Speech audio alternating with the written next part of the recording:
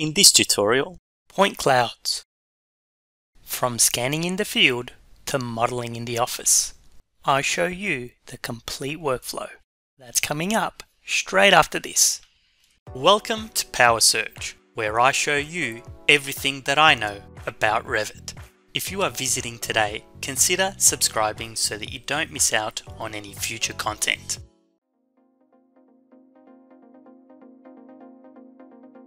In this tutorial, I am using an iPhone, but you can also use an Android device. The first step is to launch the app. Enter the login credentials. The next step is to create a job. Do this by tapping the plus symbol here. Remove the default name and enter details specific to your project. Use the suburb name and the job or project number.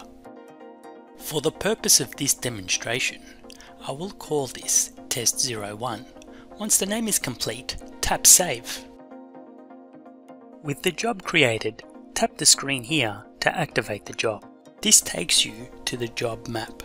This is where the scan data will be displayed. Before you start scanning, it is important to connect the device to the scanner via Wi-Fi. To do this, find settings on your device and locate the scanner network name. To complete the connection, enter the password inscribed on the scanner. This can be found on the battery lid.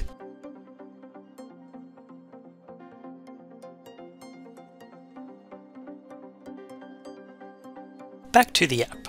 Start a new scan by tapping this location icon.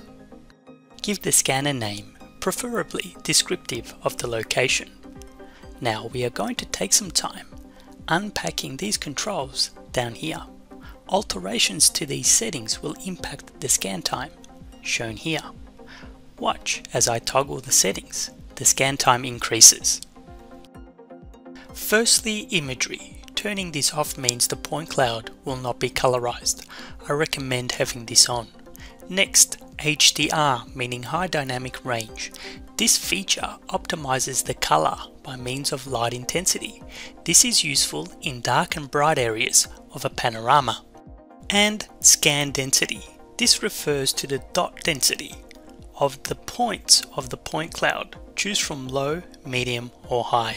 With the settings defined, initiate the scan by tapping the play button.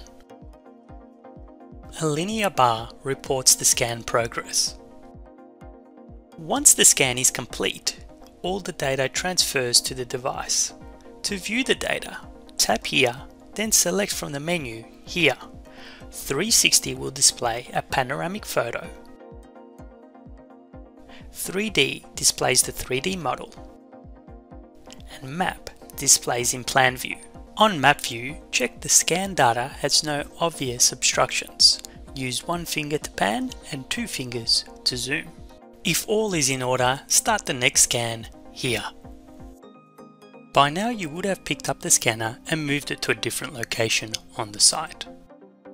Repeat the steps. The previous settings should be retained, so just tap the play button to progress. The second scan, called Setup 8, has finished, but here notice Setup 7 is selected. There are some new prompts down the bottom. We'll get to these shortly. First, go to Map View. In the Map View, Setup 7 is still selected, as shown by the blue dot. To select Setup 8, tap its red dot. Next, link the scans together as a way of combining the data into one model known as a bundle. To do this, tap the link icon here. Here you can analyze the scans to ensure that there is sufficient overlap between the two. The scanner typically does a good job of aligning the scans to each other. You can, if required, manually manipulate these in both plan and elevation view. Once you are happy with the alignment, tap Optimize to lock them in place and then tap Create Link. Those two scans are now locked together into one model known as a bundle. Notice both dots are now selected simultaneously. Then, to scan again, repeat the steps. Tap the location icon.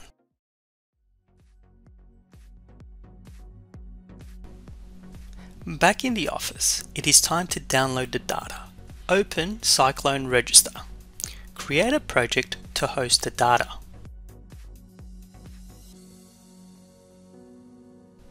The menu here will guide you through the steps to work through, starting with import. Pick the small down arrow and pick the field 360 icon. This is where the data is currently stored. Now connect the device containing the data to obtain an IP address. To complete synchronization, open the Field 360 app on the device and locate the information icon here. Type this IP address and port number where indicated. Remember to keep the app open. Then click Add to Project. Typically, point clouds are large files, so the load could take some time. Here is the imported project, then move across to review and optimize. Here is a breakdown of the bundle recording each of the linked scans. Then click Sitemap and then TruSlicer to interrogate the model using this toolbar. Register also has additional controls down here Moving along to finalize, check the metrics using a traffic light system where green is good to go, yellow is acceptable and red requires review. If all is in order, click accept and accept again to proceed. Finally, move along to report. The software will document a report in PDF format with interesting information. Set the save location for the file and then click Publish options. Tick this checkbox to export into RCP format, which is compatible with Autodesk Recap.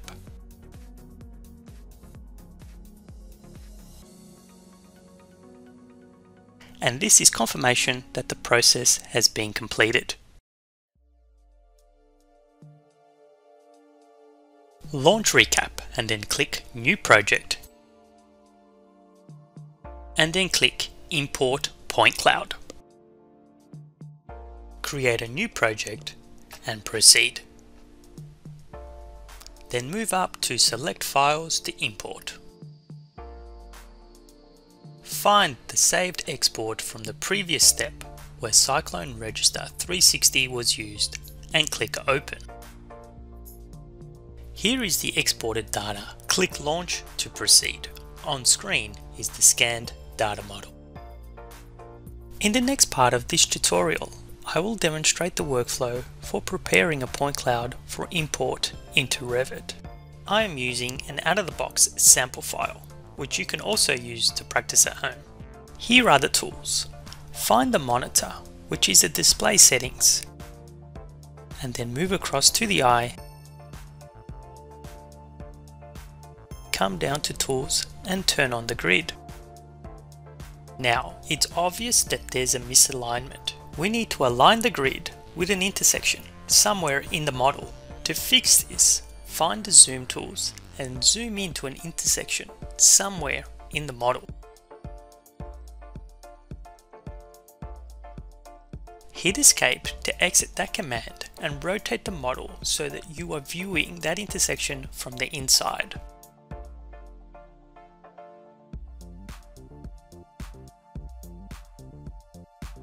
On the display settings, find the cube and then click on Update Origin. And then follow the instructions on the screen. Firstly, click as best as you can to update the location of the origin. As I click, a yellow dot represents the origin. Then press Tab to update the coordination of the coordinate system. The first prompt is to update the z-axis, which is OK press enter to confirm. Now update the x-axis. Somewhere in this region of the point cloud, select a point to update the location of the x-axis. Use Alt to flip the coordinates icon and use this to check the alignment. That seems to be okay now, hit enter to confirm. Recap is now updating the origin. Using the view cube, we can see the final result.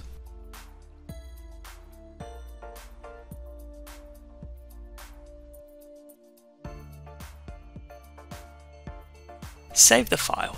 The point cloud is now ready to be imported into Revit.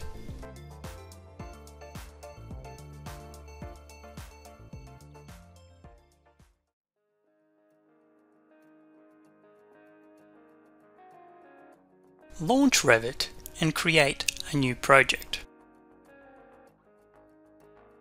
Then down the bottom of the screen on the status bar, open Worksets. Create a workset to host a point cloud and ensure that this is not visible in all views. From there, move up to the ribbon and locate the Insert tab. Click on Point Cloud and open the saved recap file from the previous step. And now I can demonstrate why we did all of that work in step 3 using recap. Find positioning. Of the three options, choose Auto, Origin to Origin and click Open. The point cloud is now aligned to Revit's internal origin which has been aligned to the project base point. Pin the point cloud and then toggle the pinned elements control. To complete the workflow, edit the size of the scope box in proportion to the size of the point cloud.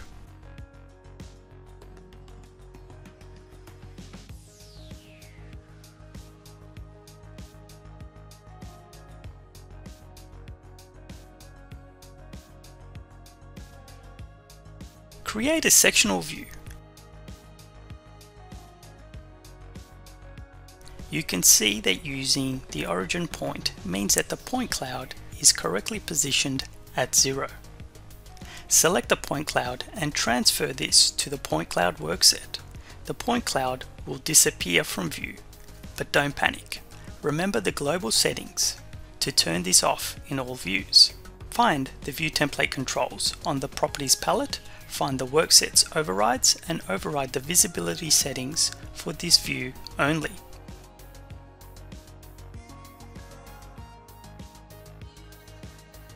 Switch to a 3D view and then from the project browser, duplicate the default 3D view.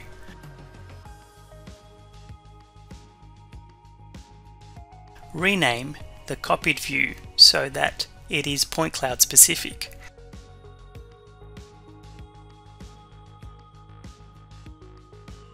and toggle the workset visibility settings so that the cloud is also only visible in this view.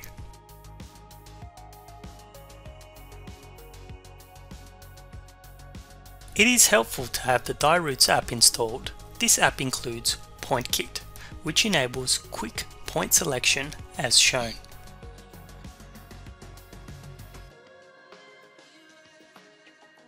This can be edited on the fly. I can reset the selection at any time. Or even select in between levels.